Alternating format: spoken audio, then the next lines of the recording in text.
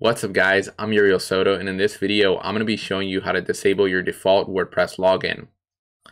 Now let's say you have people that want to go to your login page and you don't want them to go to WP login, so you just want that completely disabled. Well basically whenever someone types in WP login slash um, PHP, as you can tell it'll go straight to my login page. And this is what I'm going to be showing you guys how to do.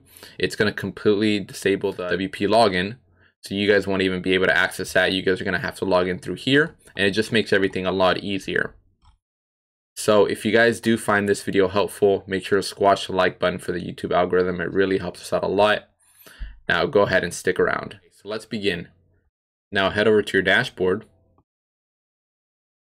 You're going to want to go into Appearance and go to Theme Editor we're going to be adding a PHP code to our functions.php. Now, if you don't have access to the theme editor, you're going to have to access this through cPanel.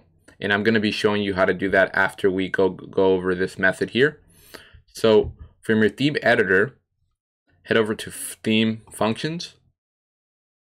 And then right at the bottom, we're going to go ahead and paste the code. Now, before you do this, make sure you back up your website just in case I would suggest using Updraft. Um, I do have a video on that on my channel, so if you guys want to check that out, that's just something that you guys can do. Um, I've tried this. I haven't had any issues, but I don't want to be the reason why your website breaks. So it's always good to go ahead and do that. Now I'm going to go ahead and grab my PHP code. And I'll have this down in the description so you guys can just copy and paste this. And there we have it. Now, very important that that the page that you want your your login to go to is this one right here. So for me, it's going to be mywebsite.com slash login.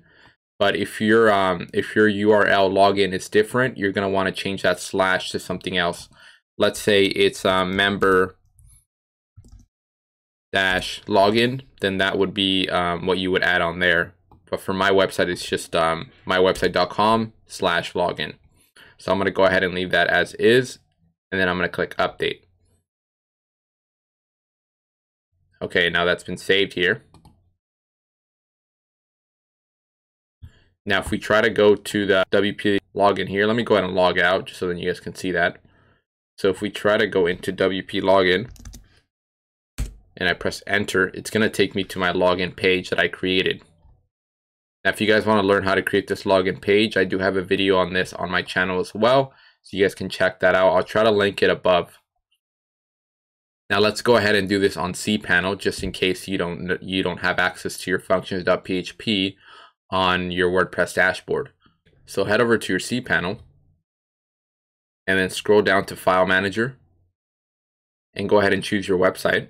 So for me, it's going to be urielsoto.com and then I'm gonna have my files, my WordPress files here.